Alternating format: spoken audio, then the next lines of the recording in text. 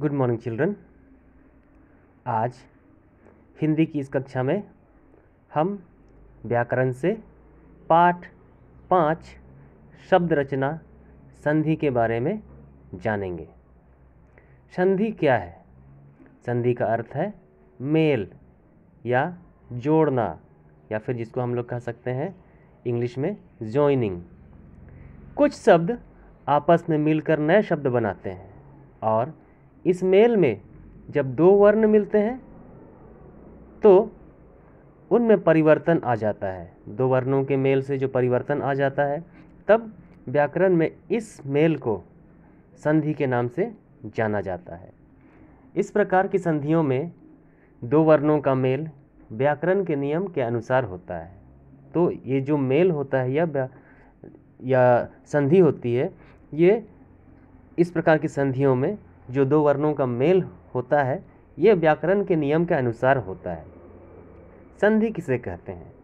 दो वर्णों के मेल से जो विकार या परिवर्तन हो जाता है, उसे संधि कहते हैं। दो वर्णों के मेल, इसको ध्यान में रखना है, दो वर्णों के मेल से जो विकार या परिवर्तन हो जाता है, उसे संधि कहते हैं। यहाँ पर हम उसका उदाहरण देखेंगे।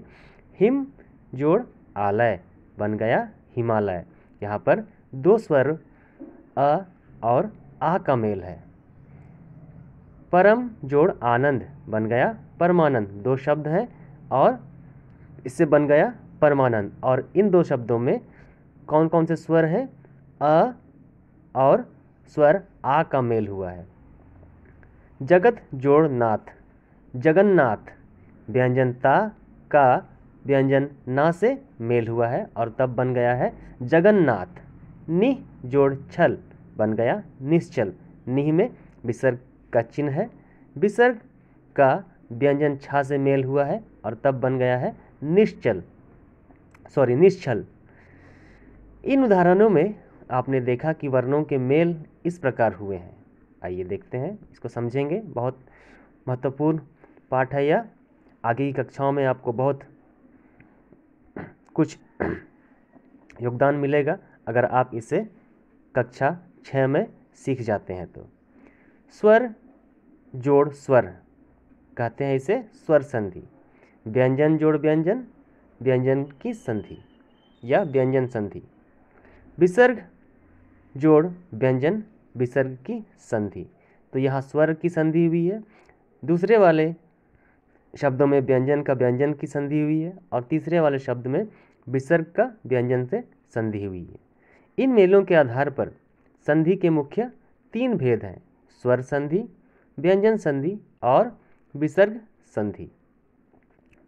आप अपनी पुस्तक में इन्हें समझ लें, एक बार पढ़ें और समझने का प्रयास करें, उसके बाद हम लोग आगे जाएँगे। आइए देखते हैं स्वर संधि किसे कहते हैं। स्वर का मेल स्वर के साथ होने पर, स्वर का मेल स्वर के साथ होने पर जब विकार उत्पन्न होता है, तब इस मेल को स्वर संधि कहते हैं।